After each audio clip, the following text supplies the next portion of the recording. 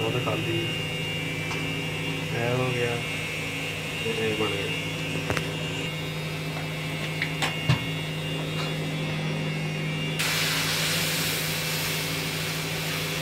ਇਹ ਪਾਣੀ ਬਾਹਰ ਨਾ ਕਰਾਂ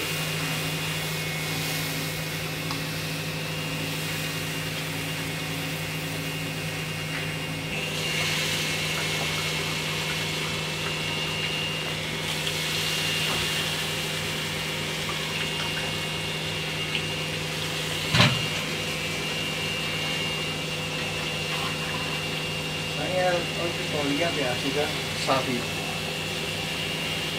ਆ ਝਾੜੇ ਨੂੰ ਜਰਾ।